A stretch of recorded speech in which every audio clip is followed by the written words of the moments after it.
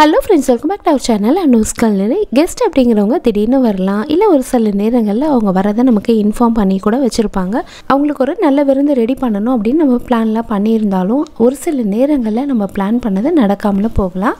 அந்த மாதிரி டைமில் நம்ம எப்படி வந்து நம்மளோட டெய்லி ரொட்டீன் வேலையும் வந்து செஞ்சுட்டு கெஸ்ட்டு வரவங்களுக்கும் வந்து எப்படி டக்குன்னு வந்து ஒரு விருந்து ரெடி பண்ணுறது அப்படிங்கிறத இந்த வீடியோவில் ஷேர் பண்ண போகிறேன் கண்டிப்பாக இந்த வீடியோவில் உங்களுக்கு நிறைய ஐடியாஸும் கிடைக்கும். கொஞ்சம் மோட்டிவேஷனலாகவும் இருக்கும். இன்ட்ரெஸ்டிங்காகவும் இருக்கும். அதனால் வீடியோ ஃபுல்லாக பாருங்கள் இந்த வீடியோ சனிக்கிழமை காலையில் எடுத்தது.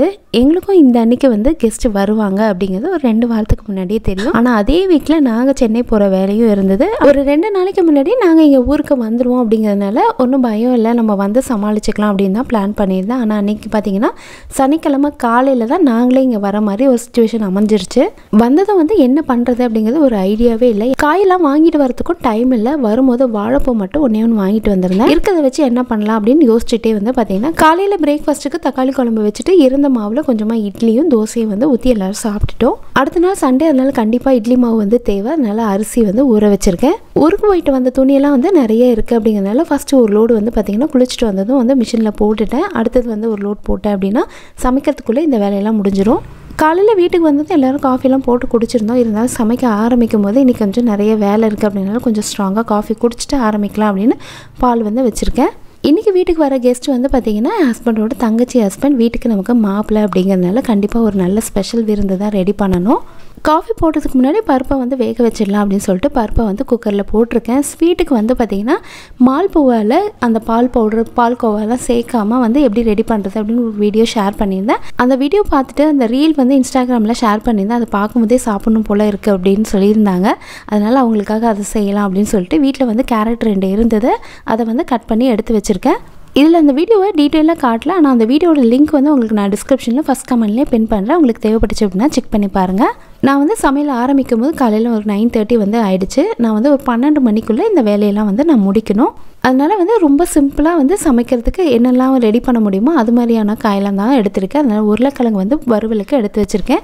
வீட்டில் வந்து ஊறுகாய் இல்லை அப்படிங்கிறதுனால மாங்காய் இருந்தது. அதனால் ஒரு பாதி அளவுக்கு மாங்காவை மட்டும் எடுத்து டக்குன்னு வந்து ஒரு இன்ஸ்டன்ட் ஊறுகாய் வந்து ரெடி பண்ணிடலாம் அப்படின்னு சொல்லிட்டு மாங்காய் எடுத்திருந்தேன். பருப்பு வந்து விசில் வரத்துக்குள்ளே நான் வந்து பார்த்திங்கன்னா ரசத்துக்கு வந்து கரைச்சி ரெடி பண்ணி எடுத்து வச்சுருக்கேன். இந்த பக்கம் வந்து ஸ்வீட்டுக்கு வந்து ஃபஸ்ட்டு சுகர் சிரப் வந்து ரெடி பண்ணிடலாம் அப்படின்னு சொல்லிட்டு ஃபஸ்ட்டு அதை வந்து ரெடி பண்ணிகிட்ருக்கேன் இது ரெடி பண்ணிட்டு இருக்கும் போதே மாங்காய் வந்து ஒரு பாதி அளவுக்கு நல்லா இந்த மாதிரி துருவி எடுத்திருக்கேன் இந்த ரெசிபியும் நம்ம சேனலில் ஏற்கனவே போட்டிருக்கேன். அதோட வீடியோ உங்களுக்கு டிஸ்கிரிப்ஷனில் ஃபஸ்ட் கமெண்ட்லேயே பின் பண்ணுறேன் கடையில் ரெடிமேடாக நம்ம வாங்கி வைக்கிற ஊறுகாவை விட இந்த மாதிரி டக்குன்னு இன்ஸ்டண்ட்டாக வீட்டில் ரெடி பண்ணுற ஊறுகாய் வந்து வைக்கும் போது அன்றைக்கி நம்ம சமைக்கிற டிஷ்லேயே எல்லாத்த விடவே இது ரொம்ப ஹைலைட் ஆகிடும் சாம்பாருக்கு எப்போயுமே நான் தனியாக வந்து காயெல்லாம் வேக வச்சுட்டு அதுக்கப்புறமா பருப்பு ஊற்றி வந்து வைக்க மாட்டேன். எப்போயுமே பருப்பு வெந்ததுக்கப்புறமா பருப்பை வந்து கடைஞ்சி விட்டுட்டு இந்த மாதிரி காய் ஆட் பண்ணி அப்படியே வந்து வெங்காயம் தக்காளியெல்லாம் சேர்த்திடுவேன். சாம்பாருக்கு சௌச்சௌ வந்து கொஞ்சம் கம்மியாக தான் இருந்தது. அதனால கொஞ்சம் டேஸ்ட்டுக்காக மீதி இருந்த மாங்காவும் கட் பண்ணி கடைசி அந்த சாம்பார்லேயே வந்து ஆட் பண்ணிட்டேன். சாம்பார் இந்த பக்கம் நான் ரெடி பண்ணுறதுக்குள்ளே அந்த பக்கம் பார்த்திங்கன்னா உருளைக்கிழங்கு வந்து வெந்து நமக்கு ரெடி ஆகிடுச்சு கடைசியாக வந்து நம்ம தாளிச்சு விட்டோம் அப்படின்னா நமக்கு வந்து சாம்பார் வந்து டக்குன்னு ரெடி ஆகிடும் ரொம்ப ஈஸியாக டக்குன்னு வந்து ரெடி பண்ணணும் அப்படின்னு நினைக்கும் போது நம்ம இந்த மாதிரி வந்து ரெடி பண்ணிடலாம். உருளைக்கிழங்கு நம்ம குக்கர் ப்ரெஷர் ரிலீஸ் ஆகிறதுக்குள்ளே சாம்பார் கொதிக்கிறதுக்குள்ளே மீதி எனக்கு காயெல்லாம் கொஞ்சம் கட் பண்ணுற வேலை இருந்தது. அதெல்லாம் முடிச்சு ரெடி பண்ணி வச்சுக்கிட்டேன்.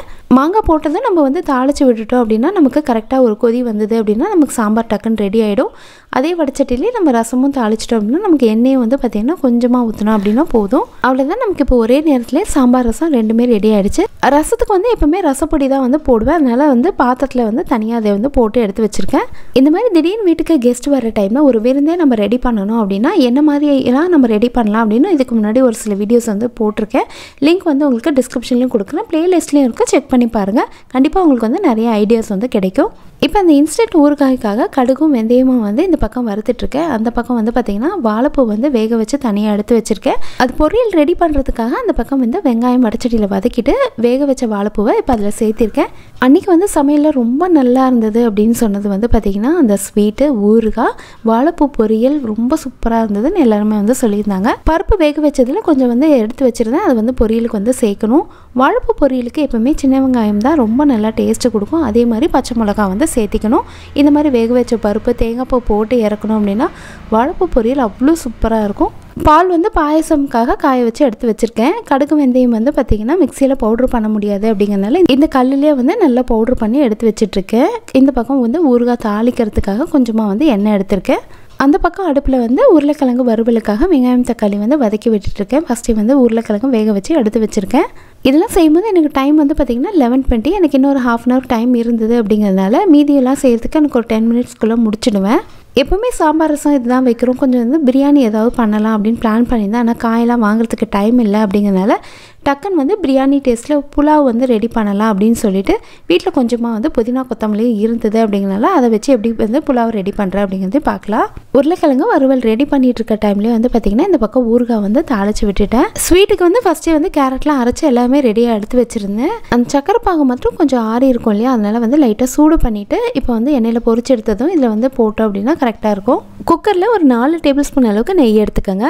தாளிக்கிறதுக்கு என்னென்ன பொருளாக எடுத்து வச்சுருக்கேன் அப்படிங்கிறத சொல்கிறேன் பட்டை வந்து ஒரு இன்ச் அளவுக்கு எடுத்திருக்கேன். ஏலக்காய் ரெண்டு ரெண்டு கிராம்பு பிரியாணி இலை வந்து ரெண்டு ஸ்டார் அனீஸ் வந்து பார்த்திங்கன்னா ரெண்டு ஜீரகம் வந்து பார்த்திங்கன்னா ஒரு முக்கால் டீஸ்பூன் அளவுக்கு எடுத்திருக்கேன். ஜாவத்திரி வந்து ஒன்றே ஒன்று எடுத்திருக்கேன். அது இருந்தாலும் போட்டுக்கலாம். இல்லை அப்படின்னா அதை ஸ்கிப் பண்ணிட்டு கூட நம்ம சேர்த்திக்கலாம். டேஸ்ட் வந்து ஒரே மாதிரி தான் இருக்கும். இப்போ நெய் வந்து நாலு டேபிள் ஸ்பூன் அளவுக்கு நான் எடுத்திருக்கேன். உங்களுக்கு நெய் அந்த அளவுக்கு வேண்டாம் அப்படின்னா ஒரு பாதி அளவுக்கு நெய்யும் ஒரு பாதி அளவுக்கு எண்ணெயும் கூட நீங்கள் சேர்த்திக்கலாம்.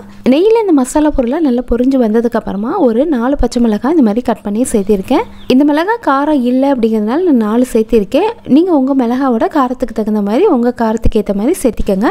சின்ன சைஸில் ரெண்டு பெரிய வெங்காயம் நான் இந்த மாதிரி நீல வாக்கில் கட் பண்ணி சேர்த்திருக்கேன். வெங்காயம் வந்து நல்ல கலர் மாதிரி வர அளவுக்கு வதக்கிக்கணும். வெங்காயம் நல்லா இந்த அளவுக்கு வதங்கினதுக்கு அப்புறமா ஒரு டேபிள் ஸ்பூன் அளவுக்கு இஞ்சி பூண்டு பேஸ்ட்டு சேர்த்திக்கோங்க. இந்த மாதிரி புலாவ் குஸ்கா இதெல்லாம் வந்து பார்த்திங்கன்னா ஒரு சிலர் தேங்காய் பால் ஊற்றி செய்வாங்க. இல்லை அப்படின்னா பச்சை பட்டாணி மீல் மேக்கர் இதெல்லாம் வந்து போட்டு செய்வாங்க. இதுக்கு வந்து பார்த்திங்கன்னா நீங்கள் எதுவுமே வந்து போட வேண்டாம். இந்த மாதிரி வெறும் வெங்காயம் பச்சை மிளகாய் இஞ்சி பூண்டு பேஸ்ட் இதெல்லாம் மட்டும் போட்டு தாளித்து விட்டுட்டு வெறும் புதினா கொத்தமல்லி மட்டும் போட்டு தாளிச்சிங்க அப்படின்னாலே செம்ம டேஸ்ட்டாக இருக்கும். ஃப்ரிட்ஜில் கொஞ்சமாக வந்து பச்சை பட்டாணி இருந்தது அப்படிங்கிறனால அதை வந்து இதில் சேர்த்திருக்கேன். ஏன்னா ஒரு அரைக்கப்பளவு தான் பட்டாணி இருந்தது. சரி அதை இதில் ஆட் பண்ணிடலான்னு ஆட் பண்ணியிருக்கேன். கால் கப் அளவுக்கு புதினாவும் கால் கப் அளவுக்கு கொத்தமல்லியும் ரெண்டும் சேர்த்து ஒன்றா கழுவி எடுத்து வச்சுருக்கேன். ஒரு கைப்பிடி அளவுக்கு அழுத்தி பிடிச்சதும் வந்தது. அதை அப்படியே இதில் போட்டுக்கலாம். இன்றைக்கி வடைக்கெலாம் வந்து ரெடி பண்ணுறதுக்கு டைம் இல்லை அப்படிங்கிறதுனால போண்டா போட்டுடலாம் அப்படின்னு சொல்லிட்டு காலையிலேயே வெங்காயம் தோல் உரிச்சு வச்சுருந்தனால. சாப்பரில் வெங்காயமும் கட் பண்ணதும் வந்து பார்த்திங்கன்னா கடலை மாவு கலந்து ரெடி பண்ணி எடுத்து வச்சுக்கிட்டேன். இப்போ இந்த புதினா கொத்தமல்லி வந்து பார்த்திங்கன்னா நல்லா சுருண்டு வர அளவுக்கு வதக்கி விட்டுட்டு அடுத்தது ஒரு கால் ஸ்பூன் வந்து கரம் மசாலா தூள் வாசனைக்கு சேர்த்திக்கலாம். ரொம்ப சேர்த்திட்டோம் அப்படின்னா நமக்கு அந்த கலரே வந்து ரைஸ் மாறிடும். ஒரு பத்து இருபது செகண்ட் நல்லா வதக்கி விட்டதுக்கப்புறமா நம்ம எடுத்திருந்த அரிசியோட அளவுக்கு தகுந்த மாதிரி நம்ம தண்ணி அளந்து வச்சுக்கலாம். நான் வந்து ஒரு கால் கிலோ அளவு அரிசி எடுத்து வச்சுருந்தேன். அந்த அளவுக்கு தண்ணி எடுத்துக்கிறேன். கடைசி இதுக்கு தேவையான அளவுக்கு உப்பு சேர்த்துட்டு நல்லா கலந்து விட்டுட்டு ஒரு கொதி வந்ததுக்கப்புறமா நம்ம ஊற வச்சிருந்த அரிசி வந்து சேர்த்திக்கலாம். நான் வந்து இன்றைக்கி பாஸ்மதி அரிசி தான் எடுத்திருந்தேன். ஒரு கிளாஸுக்கு ஒன்றரை கிளாஸ் அளவு தான் வந்து தண்ணி எடுத்து வச்சுருந்தேன். ஏன்னா அரை மணி நேரம் அரிசி வந்து ஃபஸ்ட்டே நல்லா ஊற வச்சுருந்தேன். இப்போ திடீர் கெஸ்ட்டு வரவங்களுக்கு நீங்கள் ஏதாவது ஸ்பெஷலாக வந்து செஞ்சு கொடுக்கணும்னு நினைக்கிறீங்க? காயெல்லாம் எதுவுமே வீட்டில் இல்லை அப்படின்னா புதினா கொத்தமல்லி கொஞ்சம் கொஞ்சம் இருந்தது அப்படின்னா கூட நீங்கள் இதை வந்து ட்ரை பண்ணலாம். ரொம்ப சூப்பராக இருக்கும். பாஸ்மதி அரிசியில் நம்ம இது மாதிரி பிரியாணியோ புலாவோ பண்ணுறோம் அப்படின்னா விசில் வந்ததும் டக்குன்னு வந்து அடுப்பில் இருந்து இறக்கி இந்த மாதிரி வந்து கீழே வச்சிடணும். இல்லை அப்படின்னா பக்கத்தில் ஏதாவது பர்னர் ஃப்ரீயாக இருந்தது ஹீட் இல்லாமல் இருக்குது அப்படின்னா அதில் வந்து வச்சிடலாம். இப்போ நான் வந்து அதுக்கு மாற்றிட்டு இந்த பக்கம் வந்து பாயசம்க்கு வந்து ரெடி பண்ணிகிட்ருக்கேன் நான் இன்றைக்கி வந்து பார்த்திங்கன்னா ரவா பாயசம் தான் வைக்க போகிறேன் நான் வைக்கிற இந்த மெத்தட் வந்து பார்த்திங்கன்னா பால் நீங்கள் கம்மியாக ஊற்றுனதுக்கப்புறம் கூட நமக்கு பாயசம் வந்து நல்லா க்ரீமியாக ரொம்ப சூப்பராக இருக்கும். நெய் வந்து நான் நாலு டேபிள் ஸ்பூன் அளவுக்கு எடுத்திருந்தேன். அதில் வந்து முந்திரியை ஃபஸ்ட்டு நல்லா வறுத்து எடுத்து வச்சுட்டு அதுலேயே வந்து நான் எடுத்திருந்தேன் அந்த அரைக்கப்பளவு ரவையை வந்து அந்த நெய்யிலே வந்து நல்லா வறுத்து எடுத்துக்கணும். அடுத்தது அரைக்கப்பளவு ரவைக்கு ஒரு கப்பளவு தண்ணி எடுத்து ஃபஸ்ட்டு நல்லா வந்து அந்த ரவையை தண்ணியில் வேக வச்சு எடுத்துக்கணும். அதுக்கப்புறமா நம்ம பால் ஊற்றணும் அப்படின்னா நல்லா க்ரீமியாக ரொம்ப சூப்பராக இருக்கும். பால் ஊற்றி நல்லா கலந்து விட்டதுக்கப்புறமா நான் ஒரு டேபிள் ஸ்பூன் அளவுக்கு வந்து பார்த்திங்கன்னா அந்த சாரப்பருப்பு அப்படின்னு சொல்லுவாங்களா அது வந்து போட்டிருக்கேன். இது வந்து இந்த பாயசத்துக்கு ரொம்ப சூப்பராக இருக்கும். இது வந்து ஆப்ஷனல் தான். இது இருந்தது அப்படின்னா நம்ம சேர்த்திக்கலாம். இல்லை அப்படின்னா இதை வந்து ஸ்கிப் பண்ணிக்கலாம். இது கூடவே குங்குமப்பூ இருந்தது அப்படின்னா அது அதுவும் வந்து போட்டோம் அப்படின்னா இன்னும் நல்லாயிருக்கும். என்கிட்ட இன்றைக்கி இல்லாதனால அது வந்து சேர்க்கல. இது கூட கடைசியாக வந்து வறுத்து வச்சுருந்த அந்த முந்திரி பருப்பும் ஸ்வீட்டுக்கு இதுக்கு தகுந்த அளவுக்கு சர்க்கரையும் சேர்த்து நல்லா வந்து கலந்து விட்டு எடுத்து வச்சோம் அப்படின்னா நம்மளோட பாயசம் ரெடி இந்த பக்கம் குக்கர்லேயும் ப்ரெஷர் வந்து ரிலீஸ் ஆகிடுச்சு நம்மளோட பிளெயின் பிரியாணியும் வந்து சூப்பராக ரெடி ஆயிருக்கு. இன்றைக்கி எனக்கு வீட்டில் மற்ற வேலைகளையும் பார்த்துட்டு இந்த விருந்துக்கு வந்து ரெடி பண்ணுறதுக்கு எனக்கு மொத்தமாக வந்து ஒரு ரெண்டரை மணி நேரம் வந்து ஆச்சு. ஒரு சிலர் கமெண்ட் செக்ஷனில் இதுக்கு முன்னாடி இதே மாதிரி வீடியோ போஸ்ட் பண்ணும்போது எப்படி வந்து இந்த டைமிங்கில் நம்ம இப்படி செய்ய முடியும்? இவ்வளோலாம் கண்டிப்பாக செய்ய முடியாது அப்படின்னு ஒரு சிலர் மட்டும்தான் வந்து சொல்லியிருந்தாங்க. நம்ம எந்த மாதிரி மெனு வந்து ரெடி பண்ணுறோம் எப்படி வந்து நம்ம சமைக்க ஆரம்பிக்கிறோம்? எப்படி வந்து நம்ம வேகமாக அதுக்கேற்ற மாதிரி செய்கிறோம் அதை பொறுத்து தான் நம்மளோட டைமிங்கும் வந்து இருக்கும். ரெகுலராக வீட்டில் வந்து சமையல் வந்து பண்ணிகிட்டே இருக்கவங்களுக்கு வந்து பார்த்திங்கன்னா இந்த டைமிங்லாம் வந்து ரொம்ப கரெக்டாக இருக்கும் அப்படிங்கிறது தெரியும். இன்றைக்கி டைட்டிலில் வந்து நான் நூறுரூபா பட்ஜெட் அப்படின்னு போட்டிருந்தது வந்து பார்த்திங்கன்னா வாழைப்பூலாம் நாங்கள் இருக்க ஏரியாவில் பத்து ரூபா தான். மாங்காய் வந்து பத்து ரூபா தான். சவு சவ்வும் வந்து பார்த்திங்கன்னா பத்து ரூபா தான். கேரட் கால் கிலோ அப்படிங்கிறது ஒரு பதினஞ்சு ரூபா தான்.